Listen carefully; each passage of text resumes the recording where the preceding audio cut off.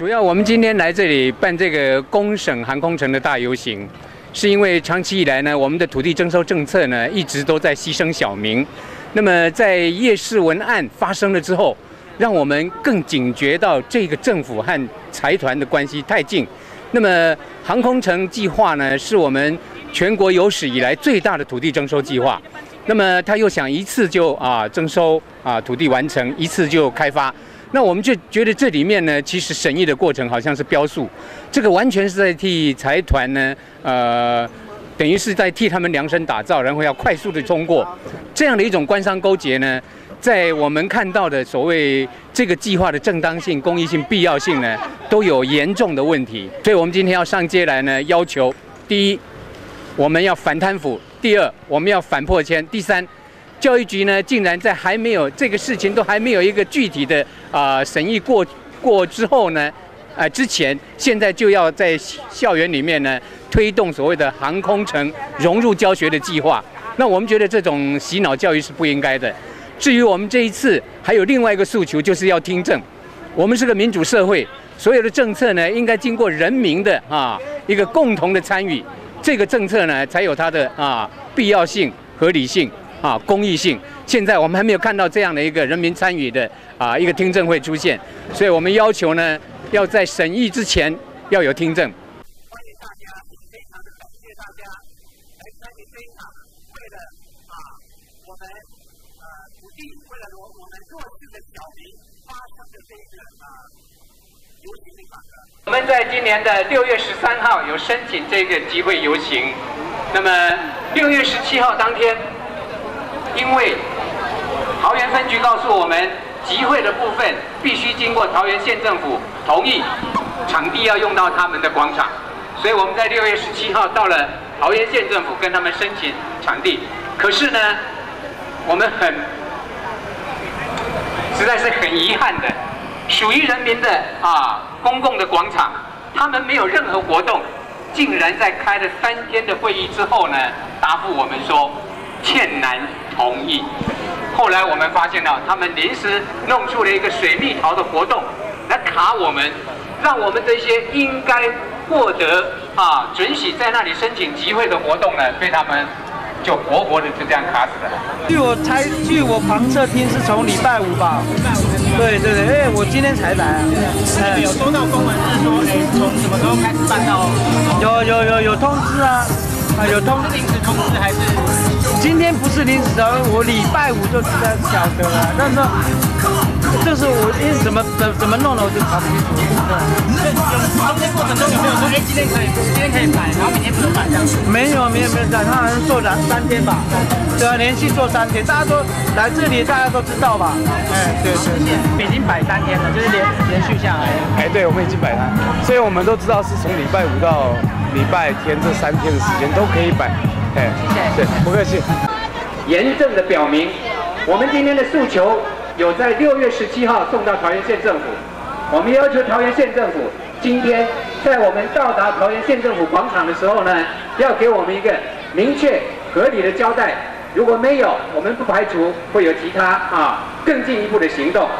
我是在地的桃园人，我从二十年前。留从英国留学回来的时候，我发现桃园皮塘的可爱，我就从台北市搬到桃园市来。在台北市那个时候是买得起房子的时候，现在我就回不去台北市了。不过我很光荣的要当成一个桃园县的县民，我要继续为我们桃园县最重要的资源皮塘而奋斗。是，谢谢。当然，航空城内有二十几个皮塘。我们一定为它奋斗到底，不容财团在把皮囊当做炒作地皮的利器。大家说好不好？好。我们游行最终是希望能够暂停审议，并且要全区听证。我们就先来喊这个口号啊：暂停审议，暂停审议，全区听证，全区听证。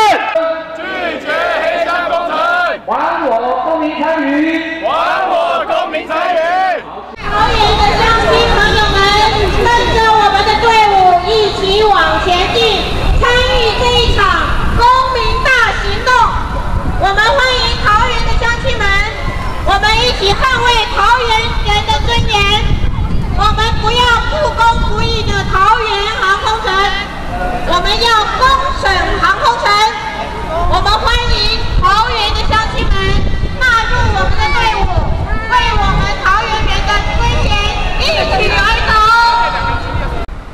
巴德合一住宅其实就是航空城的先期安置计划。一个先期安置计划，两点多公顷，他一个人就可以贪污两千六百万。各位我们的居民，各位我们的民众，你们觉得合理吗？看到我们政府按航空城，感觉好像为我们画了一个大饼，好像我们可以带动桃园的发展。可是实际上真的是这样吗？我们看到的是里面充满了官商勾结，对不对？而且里面的工人，他到底后来真的有办法增加我们的就业率？像政府说的这么美好，好像可以增加呃桃园十几万的就业人口。可是里面实际上是由经济特区进去之后，看到的可能是更多的外劳，或者是即便你在里面工作，你可能也会因为工作伤害，或者是过劳，通通倒下来，他根本就是在压榨我们，压榨我们这些基层劳工、基层百姓，对不对？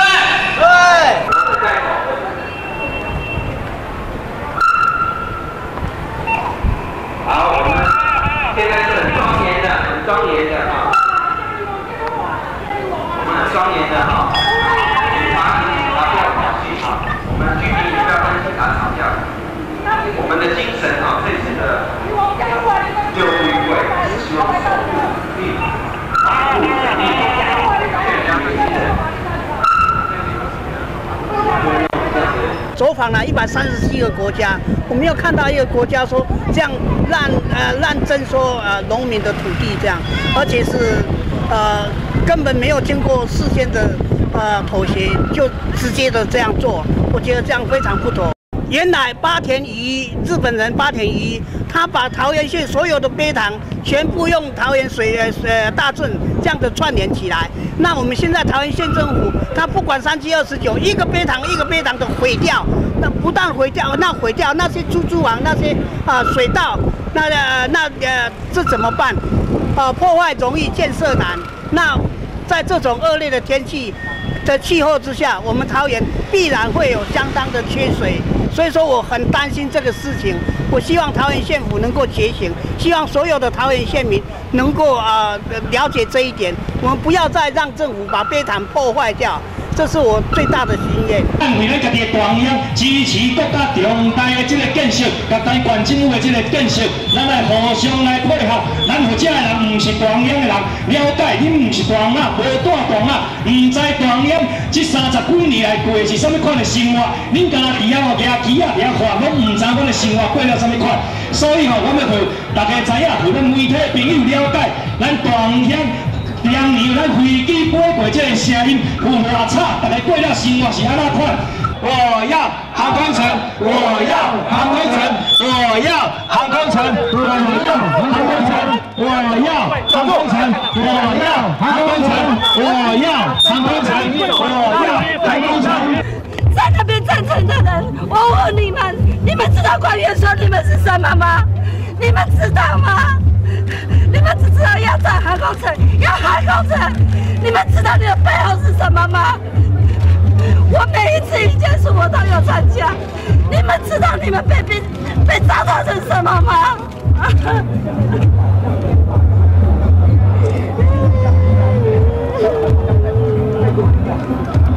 我是城乡发展局的科长。